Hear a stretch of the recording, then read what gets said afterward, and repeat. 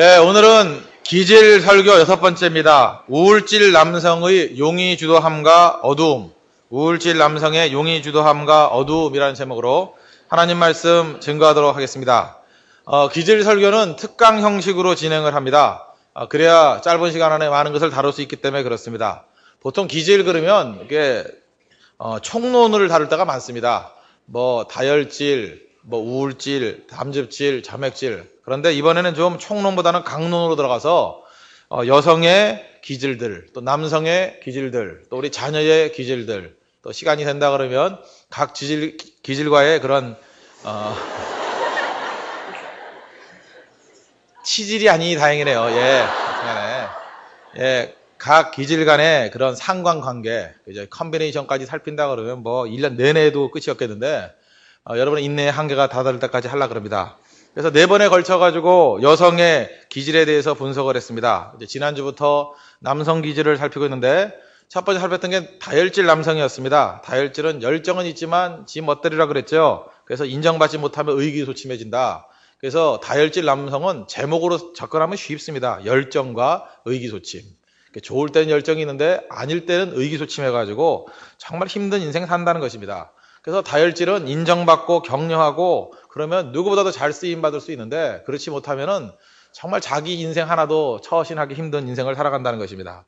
짝을 이루는 기질이라고 얘기를 하면 이 다혈질과 짝을 이루는 기질이 우울질입니다. 둘 다 감정적이거든요. 다 감정적인 기질인데 이 우울질은 굉장히 많은 그 장점을 가지고 있습니다. 첫째는 분석적이고 또 희생적이고 민감한 감수성을 지니고 있습니다. 그래서 아마도 이 기질 가운데 재능이 제일 많은 기질은 어디에 있느냐? 우울질에 있습니다. 완벽주의자입니다.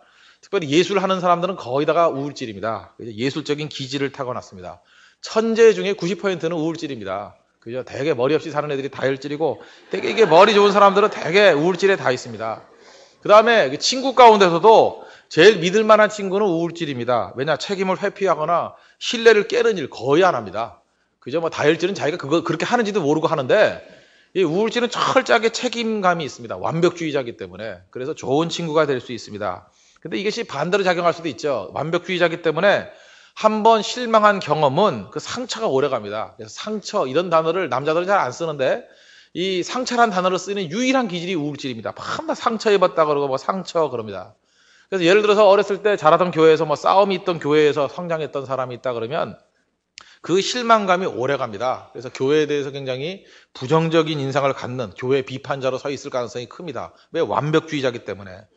또 탁월한 분석력이 있습니다. 그래서 위험과 장애를 이 분석해내는 능력이 있습니다. 그러니까 분석이 좋으니까 좋을 수도 있지만 새로운 일을 시도를 안 합니다. 왜? 시작할 때부터 끝을 보거든요. 시작할 때부터 마지막이 보이는 거예요. 그러니까 뭐 이 사람 시도를 안 하려고 그러죠. 이렇게 이렇게 하면은 머릿속으로 다 해버려요. 안 될 거야. 그래서 아무것도 안 해요. 반면에 담즙질은 어떻습니까? 분석 없이 그냥 달려듭니다. 그래서 무식하면 용감하다. 이게 담즙질한테 표현하는 말입니다. 그래서 끝까지 갑니다. 그 대부분 게 바울 같은 스타일이 담즙질인데 변화받고 난 다음에 앞에 뭐가 있을지 모르잖아요. 자기도 그러잖아요. 내 앞에 뭐가 있을지 모르는데 스스로 고백하잖아요. 막 부딪힙니다.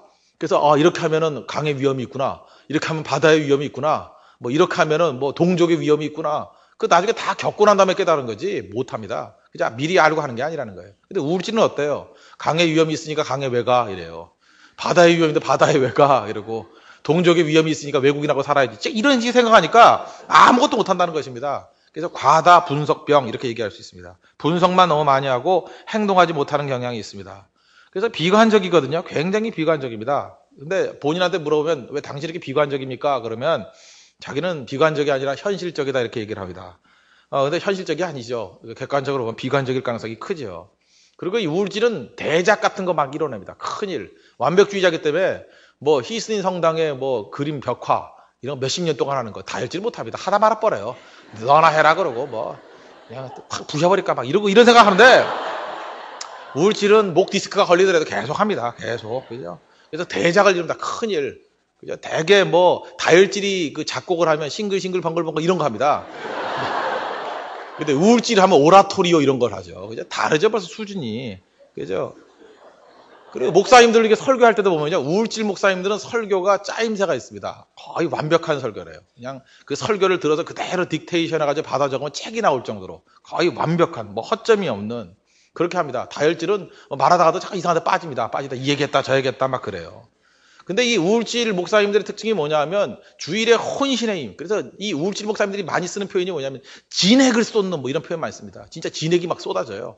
그래서 양복 입고 나오면 이게 뭐 진액이 하도 나와가지고 양복이 이게 빨라도 잘 안 되고 그럽니다. 그래서 그거 몇 번 입으면 막 누렇게 뭐 변하고 막 이렇게 돼요.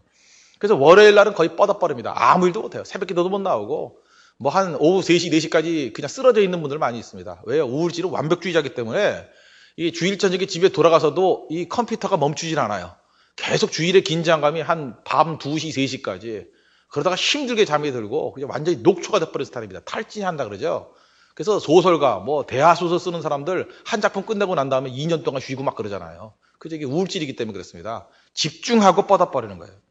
반면에 다혈질은 그렇지 않습니다. 설교도 대충 합니다. 대충 해가지고 많이 합니다. 굉장히 많이 해요. 제가 약간 다혈 담집이기 때문에 대충 해요. 설교 끝나고 난 다음에 탈진 그런 거 없습니다. 그냥 잠만 잘 자요. 잠만 잘 자고 주일 전에 끝내고도 뭐 월요일 날 새벽에도 뭐 얼마든지 할 수 있고요. 왜냐 별 생각이 없기 때문에 그냥 쉽게 쉽게 살아갑니다. 장단점이 있죠. 어, 예를 들어서 뭐 이렇게 방송 녹음 뭐 이런 거 녹화하고 이러면 되게 신경 쓰는 거 아닙니까? 아마 한 주일에 세 개를 녹화하는 건 저밖에 없을 거예요. 그죠? 세 개를 녹화하는 거. 그런데도 별 신경 안 쓰잖아요. 대충 하고. 그냥 월요일 날도 대충 하고. 그 왜냐하면 기질이 그래서 그렇습니다. 다혈질은 완벽주의자가 아니거든요. 뭐 이 정도가 어딘데 하고 대충 넘어가요. 근데 우울질은 절대 못합니다. 하나에 집중하고 며칠 쉬고 막 이래요. 그래서 우울질 중에 안식년 안 하는 목사님이 거의 없습니다. 안식년 때 진짜 뻗어요. 완전히. 그거 안 하면 사용 못 합니다. 다혈질에 안식년이 있습니까? 뭐 날마다가 안식년인데 뭐 그냥 그러고 살아갑니다. 그러니까 그런 차이점이 있다는 거야. 기질 차이입니다. 기질 차이. 이게 누가 정답이다, 틀렸다라고 말하는 문제가 아니라는 거예요. 기질이기 때문에 우울질이 할 수 있는 굉장히 많은 일이 있습니다. 그죠? 체계적으로 세우는 거, 정확한 거, 이런 거 다 우울질이 하는 거예요.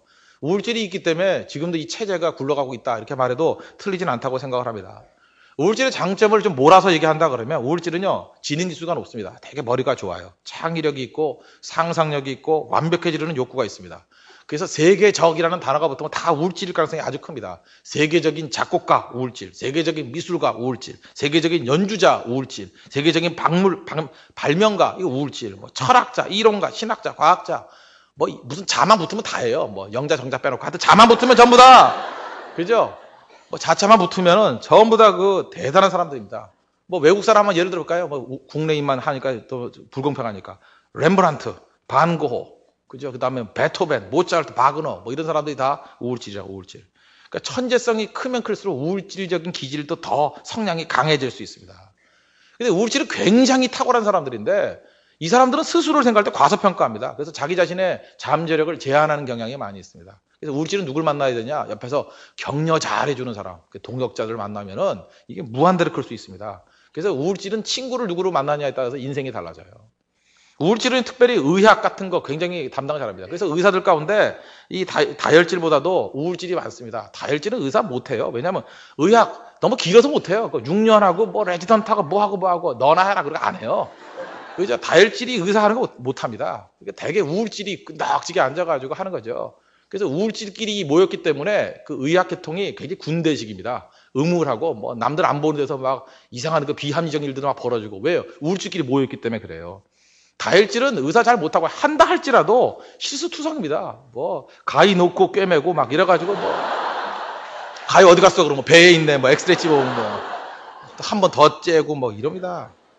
근데 우울질은 그런 일 없죠. 철저하게 확연하고 그 다음에 이렇게 뭐 조폭들에게 문신이 있으면요 수술할 때도 그 그림 맞춰줍니다. 그죠? 용 그림도 맞춰주고 딱 그래요. 근데 뭐 다혈질 의사가 수술하면요 그거 안 맞춰요. 그냥 대충 뭐 살만 맡으면 되지 뭐 그래가지고. 호랑이 눈알이 목에 와 있어가지고. 이게 목걸이인지 눈알인지 구분을 못해요. 그래서 조폭한테 터지고 막 이런 일들이 막 벌어집니다. 그죠? 그림도 못 맞추나 막 이러면서. 이 건설 현장에서도요 우울질은 정확합니다. 그래서 설계 이런 거 할 때 우울질들이 다 해요. 아 설계를 대충 하면 어떡하겠습니까? 그런데 그 다혈질이 뭐 하면요 뭐 나중에 공사 현장 가면 터널이 두 개 나와요. 설계도 하나인데 막 두 개 나오면 뭐 좋다 그래요. 뭐 두 개 나오니까 좋은 거 아니냐 뭐 이러고 그죠? 농담인가 아시죠? 그런 설계 다가 있습니까? 그러나 그럴 수 있다라는 거예요. 그럴 수 있다라는 거예요. 그리고 모든 음악을 보면요. 그 우울질의 탄식이 있습니다. 그래서 모든 음악은 대개 그래서 음악 들으면 마음이 차분해지고 뭔가 우울해지고 그러죠. 안 그렇습니까? 그리스도의 계절 그런 순간에 이게 뭔가 차분해지고 뭔가 이렇게 웃으면 안 될 것 같은 느낌이 들지 않아요? 비상감이 들고 이제 그걸로도 안 돼가지고 막 영상도 띄우고 막 주기철 목사님 띄우고 막 이러잖아요. 그거 못 느껴요? 그 왜냐하면 모든 음악가는요 그 배경 속에 백그라운드에 우울증적인 기질이 확 깔려 있습니다. 그건 95%예요. 그래서 음악은 우리 정서를 다루는 거예요. 그죠? 우리 정서를 터치해주고 그러는 겁니다. 어, 저는 뭐 제 동생이 둘이 음악을 했었기 때문에 제가 뭐 그런 얘기를 많이 들어봤습니다. 이게 잘 보면요 이렇게 음악회 같은 데 가지 않습니까? 가면은 피아노를 쳐요. 그러면 이제 음대 교수님들하고 옆에서 이제 주소 들은 귀동냥으로 들은 게 참 많거든요. 그 서로 서로 대화할 때 이런 얘기를 합니다. 아, 쟤는 열심은 있는데 뭐 그래요. 근데 무슨 얘기냐면 탁월하죠. 내가 봐도 그래요. 뭔가 이렇게 터치가 부드러움이 없고 그 자기 해석 능력이 없어요. 악보를 해석하는 능력이 없어. 그 이유가 뭐냐면 걔네들은 주로 이제 담즙질인 애가 많아요. 담즙질은요 연습을 할 때 굉장히 연습을 열심히 합니다. 손톱이 빠질 정도로 연습을 해요. 근데 기계식의 기계식으로 기계적인 연습을 하는 거예요. 그래서 꽝꽝꽝 눌러가지고 정확히 치는데 틀리는 건 없어요. 그런데 예술의 경지로 못 올라가요. 그러니까 80%까지는 연습으로 되거든요. 근데 20%는 타고난 감각이에요. 이 타고난 감각은 우울지적인 요소가 있어야 되는 거예요. 그거는 그 감성이거든요. 말로 설명할 수가 없습니다. 본인이 느끼는 거예요. 이렇게 가슴으로 느끼는 거. 그래서 우울질이 아닌 사람들이 음악을 하면 대성 못 합니다. 대성 못 하고 되게 기계적으로 하다가 제가 비하하는 건 아니지만 학원 선생님은 잘해요. 애들한테 도래 도래 도 하나 둘 셋 이건 잘해요. 기계적인 거니까. 그러나 대가가 돼가지고 무슨 그 마지막 해석을 하는 그런 예술적 감각은 우울질에게만 주신 하나님의 특권인 것 같습니다. 그래서 되게 장인들 있죠. 장인 정신 갖고 뛰는 사람들. 그래서 이태리의 우울질들이 이게 세계를 잡았잖아요. 구찌, 프라다, 불가리. 몰라요? 이 불가리는 어떤 사람은 불가리아에서 나온 지 알더라고요. 그래서 불가리아에서 요구르트도 나오고 뭐 보석도 나오고 그러는데 참 기도가 절로 나오대. 그죠? 예. 그러니까 이 장인 정신 갖고 있는 사람들이 그 우울질들입니다. 그리고 우울질을 어떻게 하느냐? 가보면 정리정돈이 아주 잘 돼 있습니다. 그래서 첫 가보면 알아요. 차 안에 정리가 쫙 돼 있고 사무실 정리돼 있고 개인 수납 공간 정리 잘 돼 있으면 그 우울질이에요. 다혈질은 제가 지난주에 얘기했죠. 재해구역이라고. 이게 카트리나 지나간 것 같아요. 쓰나미 지나간 것 같아요. 그죠? 딱 가는 순간에 이제 성금을 꺼내야 돼요. 이렇게 성금을 꺼내가지고. 그죠? 그래야 될 정도로 이제 문제가 있는데 우울질은 전혀 그렇지 않습니다. 정리정돈은 아주 잘 돼 있습니다. 그리고 남자들 가운데 이 공구들 돈 주고 사는 사람 있죠? 그죠? 뭐 이렇게 전기 톱, 뭐 전기 드릴 뭐 이런 거. 그리고 사서 뭐 합니까? 다혈질은 되게 남에게 맡겨요. 그죠? 돈 주고 한 번, 그 언제 쓸라 그러는데. 그런데 우울질은 꼭 사가지고 갖고 있어요. 갖고 있다고요. 그래서 우리는 공포심이죠. 그걸 어디다 쓸라 그러나 뭐 이러고. 그죠? 공포심에 사로잡혀 있는데 그왜 그러냐? 우울질들은 그렇게 공구를 갖춰놓고 있어야 안심이 되는 사람들이에요. 내가 언제든지 수리할 수 있다 그거죠. 그리고 사용 설명서 주면 다 읽습니다. 하나다 빼고 다 읽어요. 그래서 매뉴얼맨입니다. 매뉴얼맨. 매뉴얼에 관해서 철저해요. 그리고 차트를 만들 줄 알고 자동차를 타면서 차계부를 쓰는 남자들. 이게 다 우울질들이에요. 카드 뭐 몇십 장 들고 다니면서 그죠? 극장 가서 2천 원씩 깎고 뭐 이런 애들 있잖아요. 다혈질은 어, 제가 얘기했잖아요. 그거 다 끝나고 난 다음에 그 집에 있는데 이런 사람들이 대부분 다혈질이에요. 근데 우울증은 사전에 치밀하게 들고 나가죠. 너 뭐 있냐, 뭐 있냐. 그래서 이 다혈, 이 우울질 남자하고 연애를 하면은 여자들이 좀 피곤하죠. 피곤하고 밤낮 그 싼 데 찾아다녀야 되고 이래야 됩니다. 아무리 돈이 많아도 우울질은 그걸 용납을 못 하거든요. 철저 완벽주의자기 때문에. 그러나 우울질은요, 저 숭고한 면이 있습니다. 희생적인 인생을 살아갑니다. 베푸는 거, 이 우울질은 개인적으로 뭐 데이트하거나 이럴 때는 절약하는데 남 돕고 하는데 생각보다 큰 손이에요. 그게 왜 그러냐? 우울질은 얘기했잖아요. 완벽주의자라고요. 이 땅에서 물질적 보상이 뭐 중요해? 이렇게 생각을 해요. 영원한 가치가 중요하지. 그래서 하나님 나라를 위해서 투자할 줄 알고 기꺼이 현재를 희생해서 미래의 영광을 위해서 투자할 수 있는 사람들. 그런 사람입니다. 그래서 우울질은 많은 사람에게 감동을 줘요. 그죠? 보통 이게 짜다 뭐 이렇게 생각을 하는데 아니에요. 진짜 중요한 일은 희생할 줄 아는 사람입니다. 되게 다혈질들은요, 그냥 현재의 기쁨에 매달려요. 그래서 뭐 아이스크림 좋아, 그러면 히히낙낙거리고, 그죠? 나는 콩밥보다 쌀밥이 좋아, 뭐 히히낙낙 이러는 게 다혈질이에요, 다혈질은.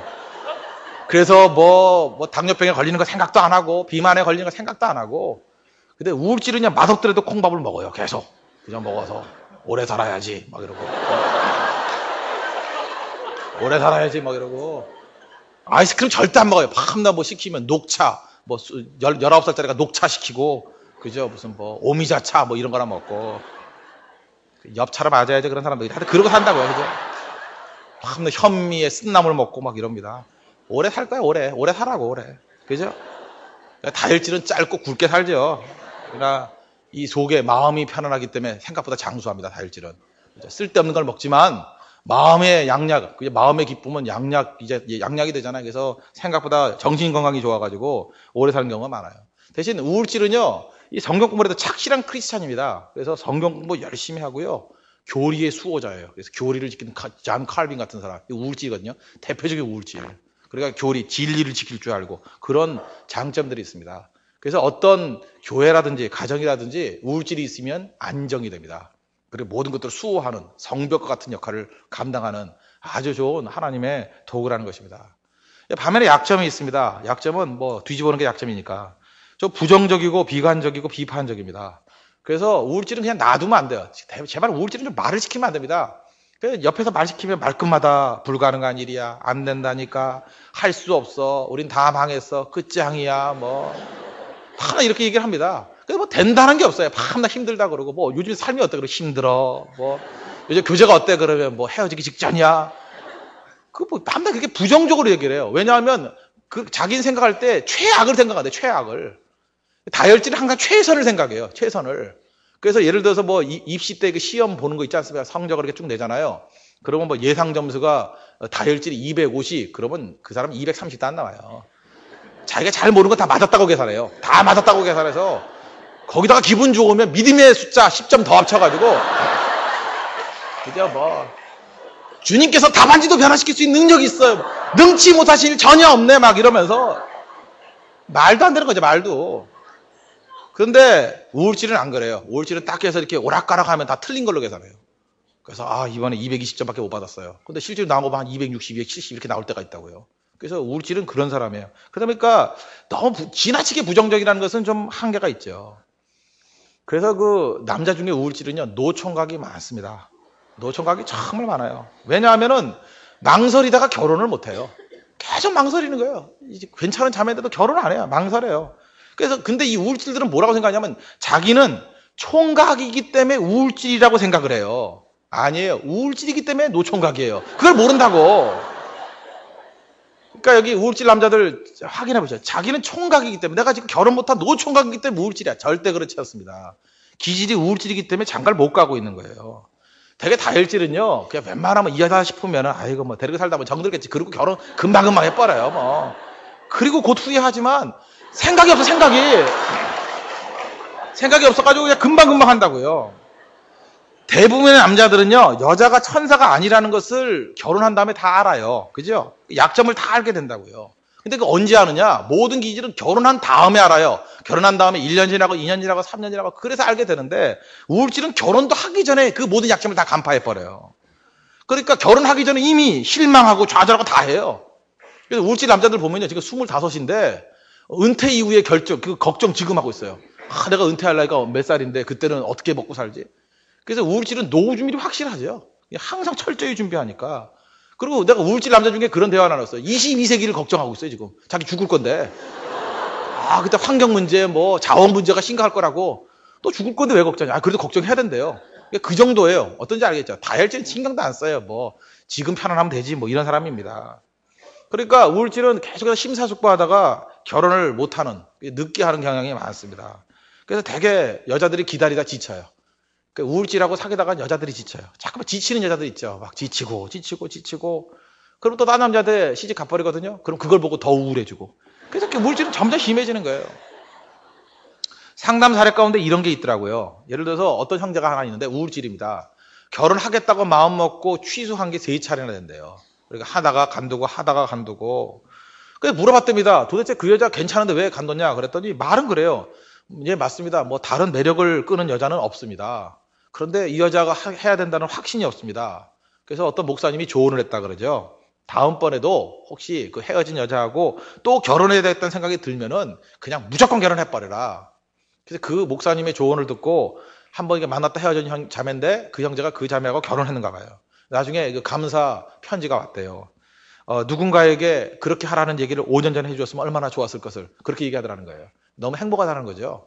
그죠? 그러니까 이 우울증은 결정을 잘 못 내려요, 결정을. 그러니까 주변에서 조금 괜찮아 보이고 머뭇머뭇거리면 이렇게 밀어줘야 됩니다. 밀어주면은 자기가 결정 못 내리는- 것을 주변 사람이 도와주면 쉽게 결정을 내려서 예, 금방 잘 살 수 있어요. 제 친구 가운데 지금 우리 동기끼리 결혼한 친구가 있습니다. 남자도 제 동기, 교회 동기고 여자도 동기인데 동갑인데 두 사람이 이제 둘 다 우울질이에요. 그래서 이 두 사람이 잘 어울려 보이더라고. 너무 이렇게 잘 맞춰주고. 그래서 우리가 25살에 친구들끼리 놀리는 거 있잖아요. 니네들이면 잘 될 거다. 그리고 괜히 둘만 다, 마- 다 모이는 줄 알고 있다가 둘만 나오게 만들고 싹 빠져버리고. 그래서 이렇게 잠깐 밀어주려고. 우리가 얼마나 헌신적인 형제들입니까? 그죠? 이게 이런 친구들이 없죠. 이런 친구들이. 근데 계속 머뭇거리는 거예요. 머뭇거리다가 안 했어요. 안 하다가 결국 10년 있다가 35살에 결국 둘이 결혼했어요. 그러고 다음에 후회하잖아요. 10년 전에 할 걸. 괜히 주책 부리면서 딴 남, 딴 여자 만나라고 돈 무지 쓰고 왜 그러고 사냐는 거예요. 그죠? 그러니까 주변 사람들이 얘기 좀 들을 필요가 있는 거죠. 그러니까 우울질은 비관적이고 부정적이고 우유부단한 그런 짜증나는 면이 있지만 짜증나죠. 짜증나. 그냥 그렇지만 그죠? 어, 그게 약점이 될 수 있다는 거예요. 완벽한 장점은 있는 거죠. 그러다 보니까 이 우울질 아버지가 되면요. 자녀들에게는 불안감을 줍니다. 이게 무지 불안하죠. 이 하는 게 보통 잔소리는 엄마가 하는데 이 아버지가 해요. 이제 아버지가. 아버지가 아주 그 독한 창질 같은 비난을 해요. 막 애들 가슴 막 팍팍 찌르는 거 있죠. 들으면 한 뭐, 한 1, 1개월, 2개월 지어지지 않는 막 그런 독한 얘기. 저는 안 하겠습니다. 하면 여러분들도 마음에 새겨질까 봐. 뭐 그런 얘기들. 가슴 아픈 얘기. 상대가 아픈 게 뭔지를 알아요. 그래서 가족 밖에 있는 사람들에 대해서는 관대한데, 그죠? 완벽주의자니까. 좋은 관계를 맺어야 되니까. 오히려 가족에 대해서는 굉장히 가혹한 그런 아버지인 경우가 많아요. 말도 함부로 하고. 그 다음에 잘하는 것은 절대 칭찬 아니고 당연한 거예요. 못하는 작은 걸 잡아가지고 약점 잡고 물고 늘어져요. 했던 얘기 또 하고 또 하고 또 하고. 그 뒤에 막 웃고 있는 형제가 있는데 자기 아버지인가 봐요. 막 그래가지고. 그죠? 참, 기도 많이 하겠어요. 새벽 기도 나와야 됩니다. 그러니까. 그죠? 그런다고요. 그러면 이 우울질 아버지 밑에 있는 자녀들, 특별히 아들들이요, 우울증에 많이 걸려요. 이게 우울질이 아니고 우울증에 걸려요. 아버지는 우울질인데 아들은 우울증이에요. 그 굉장히 확률이 높다니까요. 그 스트레스를 못 당하는 거예요, 못 당하는 거. 그래서 이 우울, 우울질적인 이 남자들이 가져야 될 게 뭐냐면 믿음을 가져야 됩니다. 우울증은요, 생- 우울질적인 사람은요, 생각보다 믿음이 없어요. 그죠? 행동은 잘해서 겉으로 볼 땐 좋은 그리스도인 같이 보여요. 근데 믿음이 없어요. 완벽주의자인데 하나님을 믿으면 되는데 안 믿어요. 항상 자기를 부정하고. 그래서 요한복음 14장 1절 너희는 마음에 근심하지 말라. 하나님을 믿으니 또 나를 믿으라. 이 우울질 남자니까 외우고 다녀야 돼요. 너희는 마음에 근심하지 말라. 그냥 평생 하는 게 근심이거든요. 하나님을 믿으니 또 나를 믿으라. 그죠? 믿음 가지고 나가야 돼요. 그리고 오늘 읽었던 그 여- 예레미야도 보십시오. 어, 내가 가로되 슬프도 소이다 주 여호와여 보소서 나는 아이라 말할 줄을 알지 못하나이다. 지금 말 열심히 하면서 자기 아이래요. 말 지금 말하고 있는 거지 자기가 뭐 딴소리 하고 있는 거예요? 이 말하면서 나 아이기 때문에 못한대요. 그럴 때 여호와 하나님께서 격려해 주죠. 이- 이렇게 확신을 주잖아요. 너는 아이라 하지 말고 내가 너를 누구에게 보내든지 너는 가며 내가 내게 무엇을 명하든지 너는 말할지니라. 하나님이 격려해 주잖아요. 그죠? 너는 그들을 인하여 뭐 하지 말라고요? 두려워하지 말라. 내가 너와 함께하여 너를 구원하리니 나 여호와의 말이니라. 그리고 그 입에 손을 대시며 내게 이르시되 보라 내가 내 말을 내 입에 두었노라. 하나님께서 우울질 남성을 다루는 방법을 아시겠죠? 모세도 똑같은 방법으로 다루잖아요. 못합니다, 못합니다 할 때 가라, 내가 너와 함께했다. 입을 지신 자가 누구냐? 혀를 지신 자가 누구냐? 내 형 아론을 붙여주겠다. 그죠? 내가 너와 함께하겠다. 그렇게 해서 대신 결정해 주잖아요. 그래서 밀고 나가지 않습니까? 이게 바로 어, 우울질의 약점을 보완하는 내용이라는 거예요. 그래서 우울질은요, 쉽게 얘기해서 하나님에 대한 철저한 믿음 안에만 놓여 있으면 이 사람만큼 탁월한 사람들이 없습니다. 그래서 구약 성경에 나오는 대부분의 선지자가 다 우울질이에요. 우울질적인 그 약점들 놔뒀으면 못 쓸 사람들이었는데 하나님 만나가지고 선지자로 쓰임 받고 능력 있게 한 시대를 움직이는 그저 기준과 잣대로서 살아가는 인생을 살지 않습니까? 그러니까 우울질은 하나님 만나면 탁월한 사람으로 변화가 된다는 것입니다. 이 우울질의 약점은 뭐냐면 과민한 반응을 보여요. 그 설교를 들으면 항상 그래요. 나를 치는 말씀이야. 밤낮 그래요. 무슨 뭐 할 일 없다고 주 자기를 칠라 그러겠어요. 그죠? 여러 사람 놓고 하는 건데 꼭 누가 내 얘기 해줬어 막 이러고 나를 향한 말씀이라 그러고 그죠? 그래서 안티들이 많아요. 안티들이 안티들 보면 다 우울질이에요. 그 자기들끼리 모여서 안티끼리 그냥 우- 우울질끼리 우울질 공격하고 막 그래요. 그리고 또 쉽게 시- 실망합니다. 좌절하고 환멸 느끼고 그래서 우울질 가운데 특징이 뭐냐 이렇게 생각합니다. 교회 자주 옮기는 사람 거의 우울질이에요. 왜냐 그들은 완벽한 교회를 찾아서 존재하지 않는 교회를 찾아 다니고 있어요. 그래서 이렇게 우리 교회들이 쭉 보면은 그러잖아요. 뭐 이렇게 서울 시내 중요한 교회들 스토리 다 하는 사람들 있죠. 예, 거기도 몇 년 다녀보고 여기도 다녀보고 이렇게 다 했던 사람들. 보세요. 그거 다 우울질이라고요. 우울질들. 그 우울질은 지나친 이상주의에 빠져 있기 때문에 그 시민단체 하는 사람 가운데도 우울질이 되게 많습니다. 그 예를 들어서 어떤 그 벌목하는데 일, 노동자가 3만 명이 있는데 그 3만 명이 일자리가 다 없어지는 건 생각도 안 해요. 독수리 보호해야 돼! 뭐 이러면서 독수리 한 마리 살리자고 3만 명이 밥 굶어 죽어도 신경 안 쓰는. 무슨 얘기인지 아시겠죠? 한 가지 가치에 한번 매달리면 외골수가 돼가지고 그것만 중요하다 그래요. 그러니까 2차, 3차 효과에 대한 인식이 없어요. 그러니까 이런 게 장점일 수도 있죠. 왜요? 한 가지에 매달리기 때문에 뭘 하나 이루어내는 건 있죠. 그러나 사실 우울질이 지도자가 되면 큰일 나죠. 전체를 보는 눈이 없어요. 그냥 오직 그거 하나. 그죠? 그리고 또 하나가 자기 약점을 쉽게 인정하지 않습니다. 그러니까 변화가 정말 힘든 성격이다 이렇게 말할 수 있습니다. 그 우울질은 자기가 우울질이기 때문에 대부분 매력을 느끼는 자매들이 다혈질 자매입니다. 그죠? 다혈질 자매. 또 다혈질 자매는 자기가 하도 정신이 없기 때문에 우울질을 만나면 분위기 있어 보여요. 그래서 매력을 느끼고 또 우울질은 생각보다 자기가 못하는 부분이 있기 때문에 다혈질이 귀여워 보인다고요. 그래서 우울질 남자와 어, 다혈질 여자의 이 결혼하는 비율이 생각보다 높습니다. 그러면 어떤 일이 벌어져요? 여자가 결혼과 동시에 이제 미치는 거죠. 자기 삶이 눌려가지고, 그죠? 그래서 욕구 울만해. 되게 우울질은 경제권도 안 주거든요. 그러니까 돈도 그냥 그뭐 시장 활동도 딱딱 주는 거예요. 뭐 13,000원 이렇게 줘요. 13,000원. 그리고 700원 거슬러 와 막 이러거든요. 아, 미치는 거예요, 그 여자가. 그래서 대부분 다혈질 여자들이 눌리고 눌리고 눌려가지고 한 50대, 50대 초반까지 그냥 살아요. 우리 한국적인 문화에서 보면. 그러다가 이제 50대 애들 크고 이제 한 50대 중반쯤 되면 이제 슬슬 도전하기 시작하다가 60대가 되면 폭발해 버려요. 폭발. 정말입니다. 그래서 그다음부터 이제 우울질은 이제 너무 세져 있는 거예요, 여자가. 그래서 그다음부터 눌려가지고 힘들고 뭐 그런 도식들 많이 보셨죠? 예, 제가 그래서 이런 만남은 별로 행복한 것 같지는 않아요. 그죠? 우울질 남자하고 이 다혈질 여자하고는 그렇게 아주 아름다운 모습은 아닌 것 같습니다. 그리고 항상 건강 체크합니다. 건강 체크해가지고 잘 죽지도 않아요. 얼마나 건강 체크하는지. 그래서 외적인 건강 때문에 죽는 경우는 별로 없고 하도 적개심, 원망, 분노 이런 거 품다가 지성질에 겨우 못 이겨서 죽어요. 되게 그냥 아 분노로 죽고 막 이러죠. 그러나 뭐 건강 체크 잘해가지고 무슨 뭐 위장 탈나거나 뭐 이런 거 뭐 간 치수도 밤낮 체크합니다. 그래서 그 건강 그 체크하는 거돈 주고 사다가 집에 두고 있는 분들 있죠. 밤낮 아침에 혈압 재고 저녁에 혈압 재고 당 치수 재고 뭐 재고 재고 그래서 그런 걸 안 죽다가 나중에 딴 걸로 죽어요. 딴 걸로 너무 신경 쓰다가 교통사고로 죽고 뭐 이래요 주로. 그러니까 그러니까 우울질의 장점이 있죠. 그러나 이런 아주 한계가 있다는 거예요. 그러므로 우리가 이 우울질에 대해서는 어떻게 쓰임 받으면 제일 잘 쓰임 받을 수 있겠습니까? 항상 답은 똑같습니다. 자기의 장점을 강점 가지고 일하는 쪽으로 나가면 된다는 거예요. 잘 보십시오. 하나님께서 여러 기질이 있는데 특별히 모세 같은 우울질을 사용해, 사용하신 이유가 뭡니까? 모세에게 모세 오경을 맡긴 이유가 뭐예요? 모세 오경을 보면 거기에 성막에 관한 자세한 내용들이 나와 있지 않습니까? 그죠?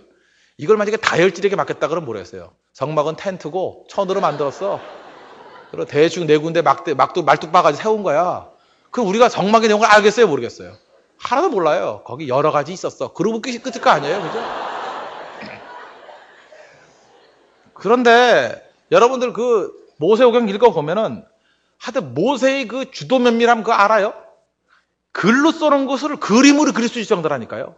그 줄을 꽈는데 그꽌 줄이 무슨 색이고 끝에는 어떻게 처리하고 그리고 그, 그 재질은 무슨 뭐 수달 가죽을 벗겨 가지고 뭘 했고 뭐는 뭐를 하고 몇 뭐는 뭐 몇, 맺히고 몇 인치고 그때 인치는 아니었어요. 그죠? 뭐 그런 식으로 뭐 그런 식으로 치밀하게 말했습니다. 치밀하게 왜 우울질이니까 우울질이기 때문에 이게 가능하다는 거예요. 우리 신약 성경도 보면 공간 복음 있고 이게 요한 복음 있지 않습니까? 복음서도 보면요. 대표적인 게 우울질적인 사람이 쓴 게 이제 마태복음 아니에요. 마태가 세리 아닙니까? 세리니까 얼마나 수학적인 치밀함이 있었겠습니까? 그래서 마태복음을 보면 예수님이 하신 말씀이 제일 방대하게 나와 있어요. 그죠? 그래서 산상수훈 그럴 때도 산상수훈의 말씀이 제일 정확하게 많은 부분이 나와 있다고요. 그죠? 그 다음에 누가복음도 누가도 의사니까 우울질적인 기질이 있겠죠? 그래서 굉장히 자세하게 기록되어 있습니다. 그 예수님의 힘줄이 어떻게 되고 표현이, 표정이 어떻고 그런 걸 치밀하게 기록했다고요. 반면에 다혈질인 베드로의 이야기를 듣고 적은 게 마가복음 아니에요? 마가복음이 사복음 속에 제일 짧지요? 16장. 그죠? 그리고 산상수도 다 생략해 버렸어. 뭘몇줄 안 했어요. 이거 다섯 줄 돼 있는 거, 다섯 절 돼 있는 거 한 한 절로 줄여 버리고. 그리고 제일 많이 난 게 뭐예요? 곧 immediately. 뭐 어디 갔다 어디 갔다 움직인 것만 기록해 놨어요. 움직인 것만. 얘기도 없어요. 그리고 곧 죽으시다 뭐 이런 것이고. 그러니까 처음 초신자들은 마가복음을 읽으면 좋아요. 왜냐하면 복음서 전체를 파악하는 데 도움이 된다고. 그러나 세부적인 거 공부하려고 그러면 마태복음으로 들어가든지 누가복음으로 들어가든지 그 다음에 그 영적인 의미를 밝히려고 그러면 요한복음을 봐야 된다고. 그래 보세요. 하나님께서 다 다른 기질을 통해서 다 유익이 있죠. 써머리를 보려고 그러면 마가복음 깊이 있게 말씀하신 내용을 보려고 그러면 마태복음 그다음 그다음 정황 그 자리가 물리적인 정황을 보려면 누가복음 영적인 해석을 바라보려면 요한복음 다 다르잖아요. 그래서 하나님께서 각 기질을 사용하셔가지고 우리에게 복음서의 내용들을 전달해 주시지 않습니까? 이게 뭐예요? 강점 가지고 일하면 된다는 거예요. 그러므로 우울질, 용의주도합니다. 정확합니다. 책임이 있습니다. 그런 일 맡으면 돼요. 그러나 약점은 뭐라 그랬어요? 항상 어두움이 있고 이게 잠깐 머뭇거리는 게 있다고요. 그러니까 주변의 조언을 갖고 자기 스스로를 제한하는 걸 깨면서 대학에 나가는 모습이 있으면 됩니다. 누구 만나면 돼요? 믿음만이 생깁니다. 하나님만 만나면 된다고. 그래서 어떻게 보면 우울지의 최고의 조합은 뭐냐? 우울지적인 용의 주도함과 믿음만 만나면 놀라운 하나님의 일을 할 수 있다는 것입니다. 누구였습니까? 예레미야 같은 사람, 모세 같은 사람. 그죠? 그의 용의 주도함이 하나님에 대한 믿음을 만나니까 그저 한 시대를 움직이는 그저 뭐 시대가 뭡니까? 인류의 전 역사를 움직이는 권능의 종이 될 수 있다는 것입니다. 오늘 이 자리에 앉아 있는 많은 우울질 남성들 정말로 믿음이 필요한 사람들입니다. 하나님 나에게 산을 옮길 만한 믿음을 주십시오. 모세의 믿음을 주십시오. 예레미야 같이 민족의 아픔을 내 아픔같이 아파할 수 있는 그런 믿음을 주십시오. 그 하나님께서 그를 크게 사용하실 것입니다. 기도하겠습니다. 이 시간에 다 같이 하나님께 간구하도록 하겠습니다.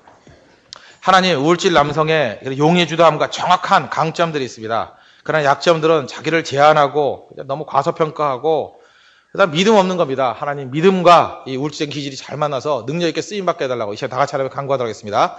하나님 아버지 주님 감사를 드립니다. 주의 능력과 은혜 가운데